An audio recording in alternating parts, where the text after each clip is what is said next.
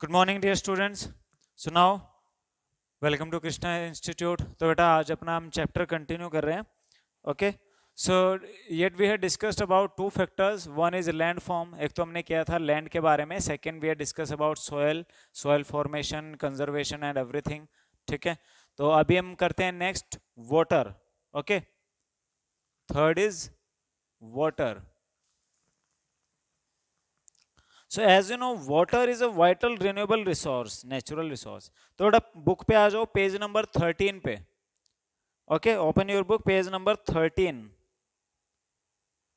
water वाले topic से start करो. So water is a vital renewable natural resource three fourth of our surface is covered with water अब आपको पता है कि जो वाटर है, ठीक है, इस अर्थ पे कितना परसेंट है? आपको पता है 71 परसेंट वाटर है और 29 परसेंट लैंड है। ये आपको मैंने पहले ही बताया था अर्थ पे 71 परसेंट क्या है? वाटर है। 29 परसेंट क्या है?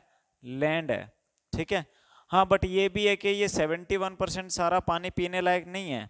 ठीक है? Most of the water remain in oceans ठीक है? ज़्यादातर जो पानी का है, वो ओशियंस में है। So it is therefore appropriately called the water planet इसीलिए हम इसको क्या बोलते हैं? वाटर प्लैनेट बोलते हैं। ठीक है? In the primitive ocean that life began almost 3.5 billion years back अब क्या है कि हम लोग, अब देखो अर्थ की जो फॉर्मेशन है, बहुत पुरानी है। ठीक है? मानते हैं कि पहले अर्थ जो थी वो लावा की फॉर्म में थे, पिघली हुई थी धीरे धीरे ठंडी हुई तो अपर जो सरफेस है वो ठंडा हो गया और हार्ड हो गया। बट इनसाइड से तो आज भी मेल्ट ही है ठीक है? फिर अपर जो पार्ट है, उस पर कई आइसेज आई हैं। आइसेज का मतलब क्या है कि पूरी अर्थ पे बर्फ़ पड़ जाती थी, ठीक है? तो उनके मेल्ट होने से क्या बने? ये ओशियंस बने हैं, ठीक है? ये कोई एक दिन का प्रोसेस नहीं है, ये बहुत लंबा प्रोसेस है, बहुत लॉन्ग प्रोसेस है ये। So even today, the ocean covered two-thirds of Earth's surface and support a rich variety of plant and animal life. तो अभी अर्थ का क्या है? टू थर्ड ठीक है? दो तिहाई हिस्सा।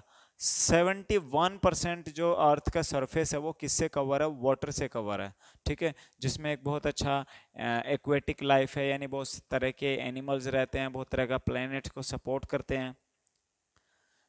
The ocean water is however saline and not fit for human consumption हालाँकि मैंने आपको बताया, सारा पानी पीने लायक नहीं है, क्योंकि मोस्ट ऑफ़ जो वाटर है वो ओशन में और वो सेलाइन है, खारा है, आप उसको पी नहीं सकते।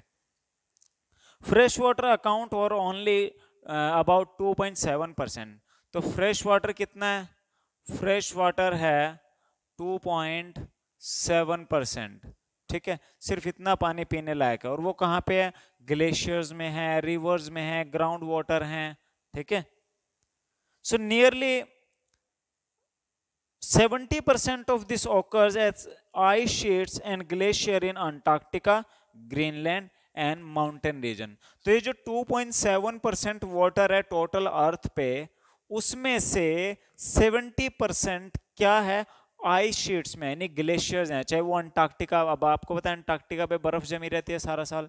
ग्रीनलैंड एक पार्ट है वर्ल्ड का, वो सारा बर्फ़ रहती है वहाँ पे। अदर इतने पार्ट हैं एरिया अपने वर्ल्ड में जहाँ पे बर्फ़ पड़ी रहती है। तो 70 परसेंट वाटर तो किसमें है? ऐसे आइस के फॉर्म में है। Due to their location they are inaccessible अब वो क्या है? इनएक्सेसिबल आप उनका यूज़ नहीं कर सकते। मान लो अंटार्कटिका में बर्फ़ है, पानी पीने लायक है, पर कैसे लेने जाएँ उसको? इंडिया तक कैसे लाएँ? पॉसिबल ही नहीं है। ठीक है, ग्रीनलैंड में जो पानी है, वो आप कैसे ले आएँगे? तो जो मैक्सिमम क्वांटिटी है उस वाटर की, वो क्या है? इनएक्सेसिबल है, वो यूज़ में नहीं आती।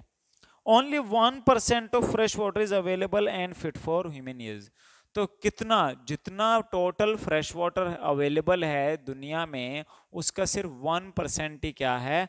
अवेलेबल है एक्सेसिबल है ह्यूमन सेटिस्फेक्शन के लिए ह्यूमन नीड के लिए, ठीक है? It is found as ground water as surface water in river and lakes as water vapour in the atmosphere और ये पानी कैसे है? ग्राउंड वाटर ज़मीन में जो पानी है, जो हम समरसिबल एंड नलकों के थ्रू निकालते हैं हैंडपम्प के थ्रू निकालते हैं एंड जो रिवर्स हैं लेक्स हैं, उनमें जो पानी है, ठीक है? Fresh water is therefore the most precious substance on earth तो अर्थ पे, अब आपको पता है, ज़िंदगी के लिए लाइफ के लिए water is the main part बिना पानी अपना कोई लाइफ नहीं रहेगा ठीक है? बिना पानी हमारा बॉडी सस्टेन ही नहीं कर सकता okay water can neither be added nor subtracted from the earth अब इस अर्थ पे पानी ना तो घटाया जा सकता है ना बढ़ाया जा सकता है। जैसे आप साइंस में पढ़ते हो ना साइंस में क्या होता है? एनर्जी नेवर डाइज एनर्जी कभी नहीं मरती ठीक है? एनर्जी ऊर्जा सिर्फ़ क्या बल, बदलता है अपना? फॉर्म बदलता है स्वरूप बदलता है अपना। पानी भी ऐसे ही है। अब मान लो आपने क्या है? आपने छत पे एक बहुत बड़ा बर्तन पानी का भर के रखा था, ठीक है? आपने गर्मी में, आपने जब अगले दिन देखा तो वो सूखा पड़ा था। वो पानी कहाँ गया? ऐसा नहीं है सूख के खत्म हो गया, नहीं। वो पानी वेपर बन के कहाँ चला गया? एटमोसफेयर में चला गया, ठीक है? एटमोसफेयर में रहेगा। अब अगर उसको कंडीशन मिलेगी फेवरेबल तो वो कंडेंस हो जाएँगे, वो जो वाटर वेपर्स हैं इकट्ठे होके क्या बनाएँगे? वाटर ड्रॉप्स बनेंगे और रेन के फॉर्म में फिर नीचे आ जाएँगे। इसको क्या बोलते हैं? हाइड्रोसाइकिल बोलते हैं। ठीक है? यानी पानी नीचे से ऊपर उड़ता है, वो वहाँ पे फिर बादल बनते हैं, फिर नीचे आ जाते हैं, चलता रहता है। हाँ ऐसा हो सकता है एक पर्टिकुलर एरिया से पानी कम हो जाए, दूसरे में इंक्रीज हो जाए। ठीक है? So its total volume remain constant तो पूरा जो इसका टोटल वॉल्यूम है, वो कांस्टेंट रहता है, उसमें कोई चेंज नहीं आता। Its abundance only seems to vary because it is in constant motion cycling through the ocean the air the land and back again through the process of evaporation precipitation and runoff ठीक है तो क्या बोल रहे हैं ये बोल रहे हैं कि its abundance only seems to vary because it is in constant motion आपको इसकी जो अबेंडेंस है वो इसलिए दिखती है क्योंकि ये क्या है कॉन्स्टेंटली अपना जो साइकिल है वो चलता रहता है इसका ठीक है? जैसे क्या होता है पहले cycling through the ocean the air the land and back again यानी कि पहले ओशियन में है, फिर ओशियन पे जब धूप पड़ती है इवेपोरेट होके एटमॉस्फेयर में जाता है, हवा में चला जाता है, फिर वहाँ बादल बन के बरस जाता है, फिर लैंड पे आ जाता है, फिर रिवर्स के थ्रू फिर ओशियन में चला जाता है।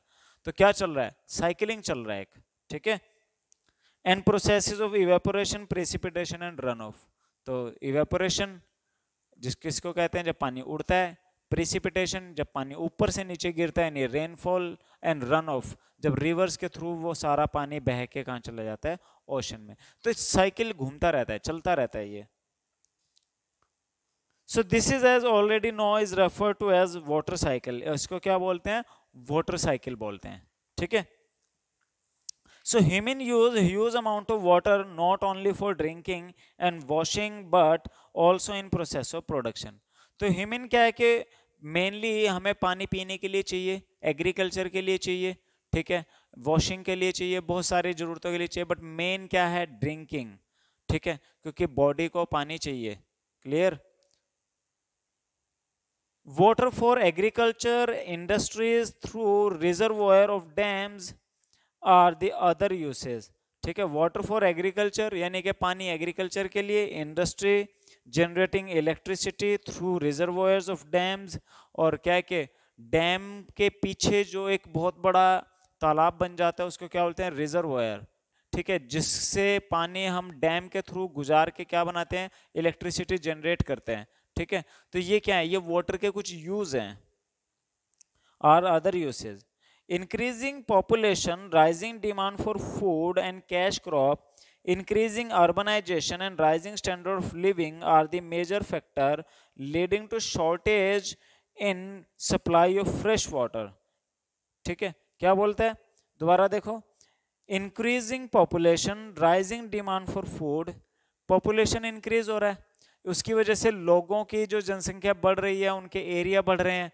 तो ऑब्वियसली फिर उसके लिए पानी की जो डिमांड है वो इंक्रीज हो रही है ठीक है? So increasing population rising demand for food and cash crop increasing urbanization ठीक है? अर्बनाइजेशन इंक्रीज हो रहा है शहर बढ़ रहे हैं and increasing standard of living लोगों के लिविंग स्टैंडर्ड बढ़ रहे हैं यानी कि लोगों के पास बड़े घर हैं कारें हैं।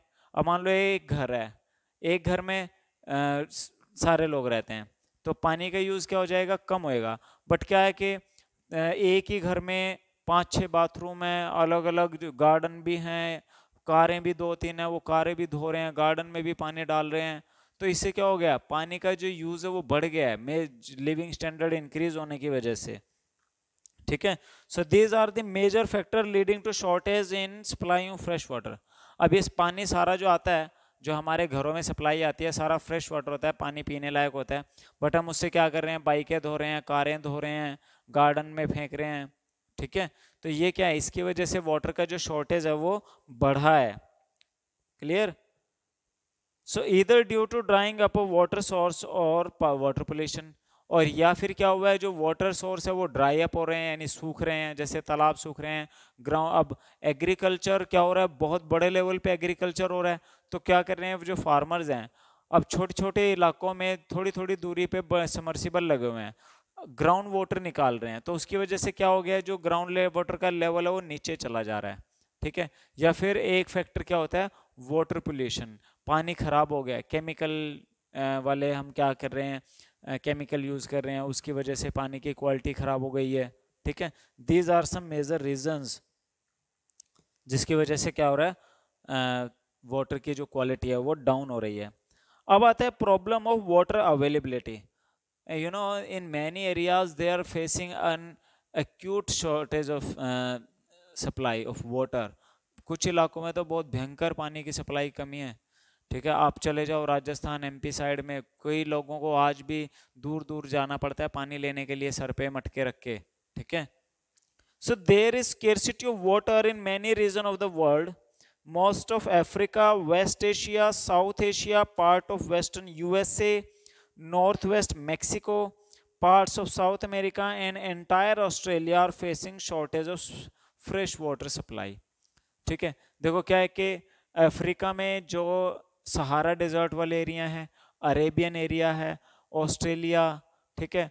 यूएसए का पार्ट है मेक्सिको यहाँ पे पानी का बहुत कमी हो गया है। Clear most of Africa West Asia South Asia part of western USA north west Mexico and part of South America and entire Australia are facing shortage in fresh water supply ठीक है? पानी की जो सप्लाई है, उसमें कमी कहीं ना कहीं वहाँ पे आई है। Countries located in climatic zones are more susceptible to drought face great problem of water scarcity अब जो यहाँ इक्वेटर के पास वाले इलाके हैं अर्थ पे इस एरिया में आपको पता है गर्मी ज़्यादा पड़ती है ठीक है? तो यहाँ पे जो वाटर सोर्सेज होते हैं वो जल्दी ड्राई हो गए हैं ड्राई हो जाते हैं। तो इन एरिया में पानी की जो शॉर्टेज है वो ज़्यादा है। Thus, water shortage may be a consequence of variation in seasonal or annual precipitation or the scarcity is caused by over exploitation and contamination of water source. ठीक है? तो दोबारा देखो this water shortage may be a consequence of variation in seasonal और annual precipitation precipitation का मतलब क्या हो गया? बारिश। भी क्या बोलता है कि जो वाटर शॉर्टेज है, वो किसका? जो सीजनल प्रेसिपिटेशन है या एनुअल प्रेसिपिटेशन है। यानी कि किसी खास दिनों में होने वाली बारिश या साल के दौरान होने वाली बारिश में जो कमी ज़्यादा है। ठीक है वेरिएशन है। उसकी वजह से पानी की सप्लाई में कमी हो सकती है। सेकंड वो बोलता है, और the scarcity is caused by over exploitation या फिर ओवर एक्सप्लोइटेशन की वजह से वाटर स्केरसिटी हो सकती है। And third contamination of water sources यानी कि कंटेमिनेशन होता है पानी में खराबी। अब बहुत सारे जो इंडस्ट्री हैं, वो क्या कर रहे हैं? वो अपना गंदा पानी केमिकल वाटर वेस्टेज रिवर्स में फ्लो कर रहे हैं। नदियों में बहा दे रहे हैं। उसकी वजह से क्या हो गया? पानी खराब हो गया वाटर अब वो ड्रिंकेबल नहीं है, गंदा हो गया, ठीक है? अब अगर वो केमिकल उसमें ना फ्लो करते तो वो पानी पीने में यूज़ हो जाता, अब नहीं हो पाएगा। अगर होएगा तो बीमारियाँ लग जाएँगी लोगों को, ठीक है? तो इसको हम बोलते हैं कंटेमिनेशन ठीक है? तो इसकी वजह से भी क्या हुआ है कि पानी की जो सप्लाई है, वो कहीं ना कहीं ऑब्स्ट्रक्ट हुई है, उसमें प्रॉब्लम आई है, क्योंकि पानी जो है वो कंटेमिनेटेड हो गया केमिकली वेस्टेज डलने की वजह से खराब हो गया ठीक है? तो ये तो क्या है? ये problem why water is getting polluted ठीक है? पानी खराब क्यों हो रहा है? पोल्यूशन क्यों हो रहा है पानी में ज़्यादा? अब हम देखते हैं कंजर्वेशन ऑफ़ वाटर रिसोर्सेज ठीक है? So access to clean and adequate water source is a major problem facing the world today. ठीक है? मेनली क्या है? अब देखो, आपके बुक में भी पिक्चर बना हुआ है रिवर यमुना. ठीक है is getting polluted due to sewage industrial effluent and garbage शहरों में जो सीवरेज का गंदा पानी होता है, वो भी कहाँ बहाया जा रहा है? रिवर्स में। फैक्ट्रियों का गंदा पानी रिवर्स में। ट्रीटमेंट प्लांट गवर्नमेंट लगाते नहीं। ठीक है? तो इसकी वजह से क्या हो गया? Rivers most of the rivers जो है, वो सारी गंदी हो चुकी हैं पोल्यूटेड हो चुकी हैं। And this is not the problem of India only ये सिर्फ़ इंडिया की प्रॉब्लम नहीं है वर्ल्ड में बहुत सारी कंट्रीज़ में ऐसे ही चल रहा है। Steps have to be taken to conserve this dwindling resource. Even though water is a renewable resource. वैसे तो क्या वाटर एक रिन्यूएबल रिसोर्स है? Its over use and pollution make it unfit for use but क्या है? चलो ठीक है, मान लो मेरे पास एक पानी था क्वांटिटी में, वो इवेपोरेट हो गया। इवेपोरेट होने के बाद कहीं ना कहीं तो बरसेगा वो, ठीक है? तो फिर से आ जाएगा तो दोबारा यूज़ हो जाएगा। बट जो पानी गंदा ही हो गया, वो तो किसी काम का रहा ही नहीं है। तो वो तो मेरे यूज़ से बाहर हो गया, ठीक है? तो मेन प्रॉब्लम किसकी है? मेन प्रॉब्लम तो ओवर यूज़ की है एंड पोल्यूशन की है। So its over use and pollution make it unfit for use ठीक है? डिस्चार्ज ऑफ़ अनट्रीटेड और partially treated sewage in agricultural chemicals and industrial effluent in water bodies are major contaminants. तो एक तो क्या है कि सीवरेज ठीक है? Partly sewerage effluents industrial effluents यानी कि इंडस्ट्री का जो गंदा पानी है गार्बेज है एंड इन uh, जो सीवरेज गार्बेज हैं सीवरेज एफ्लुएंट्स हैं वो मेनली कंटेमिनेशन हैं जो कि वाटर को खराब करते हैं। They pollute water with nitrate metal and pesticides तो उसमें क्या है? नाइट्रेट है मेटल्स हैं पेस्टिसाइड्स है अदर बहुत सारे हार्मफुल केमिकल्स हैं, ठीक है? जो कि हमारी बॉडी को बहुत ख़राब करते हैं। मोस्ट ऑफ़ दीज केमिकल्स और नॉन बायोडिग्रेडेबल और इनमें से बहुत सारे तो क्या है? नॉन बायोडिग्रेडेबल है। अब मान लो इंडस्ट्री से जो गंदा पानी आया, उसमें आयरन कंटेंट था, उसमें कॉपर कंटेंट था, ठीक है? अब वो क्या हो गया? वो पानी के साथ हमारी बॉडी में गया। अब वो बायोडिग्रेडेबल तो है नहीं है। बॉडी उसको पचा तो पाएगी नहीं तो वो बॉडी को कहीं ना कहीं नुकसान करेगा। Okay so non biodegradable and reach human body through water water pollution can be controlled by treating these effluents suitably before releasing them into water bodies. तो एक तरीका क्या है इसका? एक तरीका ये है कि हम उसको रिवर्स में उसको फेंकने से पहले उसको एक लेवल पे ट्रीट कर लें। ट्रीट में होगा क्या? उसमें जो इंडस्ट्रियल एफ्लुएंस हैं, ठीक है? हर इंडस्ट्री को चाहिए कि वो जो गंदा पानी फ्लो कर रही है, उसमें से जो नेगेटिव पार्टिकल्स हैं मेटल्स हैं नाइट्रेट्स हैं या और भी बहुत सारी चीज़ें हैं, उनको निकाल दे किसी तरह, ठीक है? इसके लिए उनको एक सीवरेज ट्रीटमेंट प्लांट लगाना चाहिए। एक उनको गार्बेज प्लांट लगाना चाहिए। Forest and other vegetation cover slow the surface runoff and replenish underground water. अब क्या होता है कि मान लो आपके एरिया में फॉरेस्ट नहीं है। बारिश आएगी, पानी जो है वो बह के बहुत जल्दी आगे चला जाएगा, ठीक है? बट अगर वहाँ पे ग्रास होएगी या वहाँ पे पेड़ होएँगे फॉरेस्ट कवर होएगा तो पानी, बारिश का जब पानी ऊपर से पड़ेगा तो वो बहुत जल्दी ऐसे फ्लो नहीं होएगा। वो क्या हो जाएगा, कहीं ना कहीं अब्जॉर्ब हो जाएगा। ठीक है? उसकी वजह से जो ग्राउंड वाटर का लेवल है वो इंक्रीज हो जाता है। Water harvesting is another method for irrigating field should be properly line to minimize loss of water seepage ठीक है? और एक क्या है कि जो खेतों में पानी डलता है बेटर है कि हम उसमें ड्रिप मेथड लगाएँ या स्प्रिंकल मेथड लगाएँ, ठीक है? यानी वहाँ पे पानी वेस्टेज नहीं होना चाहिए। जो इरिगेटिंग फ़ील्ड है, उनको तरीके से मैनेज करना चाहिए। ठीक है? Checking and evaporation. It dry, in dry region with high rates of evaporation, drip or trickle irrigation is very useful. और जो ड्राई एरिया है, वहाँ पे तो बिल्कुल होना ही ड्रिप एंड स्प्रिंकल मेथड चाहिए। क्योंकि जैसे मान लो हरियाणा, पंजाब में क्या होता है, पानी ज़्यादा है तो हम खेतों में पानी डालना पूरे खेत में पानी भर देते हैं। तो उसमें से क्या होता है, कुछ तो अर्थ जो है, उसको ऑब्जॉर्व कर लेती है, कुछ धूप की वजह से क्या हो जाता है इवेपोरेट हो जाता है। ठीक है? बट ड्राई रीजन में, सूखे एरिया में, राजस्थान जैसे एरिया में पानी ज़्यादा अबेंडेंस में नहीं होता, ठीक है? ज़्यादा क्वांटिटी में नहीं होता। तो बेटर क्या रहता है? ड्रिप मेथड हमने पेड़ उगाए हैं, उसके बराबर में ऐसे एक पाइप लगा दी और पेड़ के पास एक छोटा सा बारीक सा होल कर दिया। बस ऐसे बूंद बूंद सा निकलता रहेगा और सिर्फ़ पानी उतना ही निकलेगा जितना उस पेड़ को चाहिए। एक्सेस नहीं निकलेगा। इससे क्या होगा? पानी वेस्टेज नहीं होएगी।